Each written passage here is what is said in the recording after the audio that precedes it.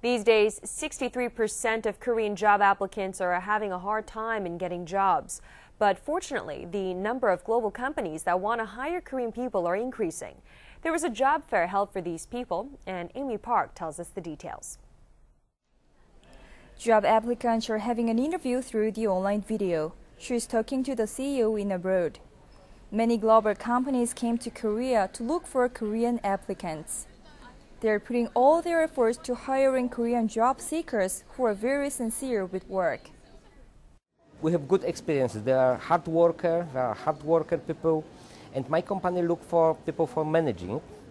And I suppose, I think uh, it will be the same good workers. The 2012 Global Job Fair was held on June 11th at COEX and it ran through 12th. This fair was hosted by the Ministry of Knowledge Economy and was organized by KOTRA, KIAT, and HRD Korea.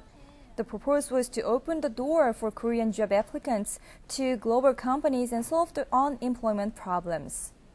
We are trying to lead the $2 trillion trade era and support Korean job applicants to work in global companies. This fair is helping Korea to improve its competitiveness.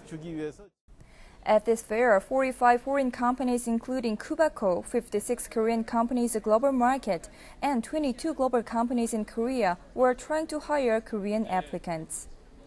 Also, Global Job Forum was held focusing on venture companies in overseas markets. Know-how to work in global companies, interview consulting was available in various languages. Unemployment is a hot issue these days, so this kind of movement would be helpful to solve these problems.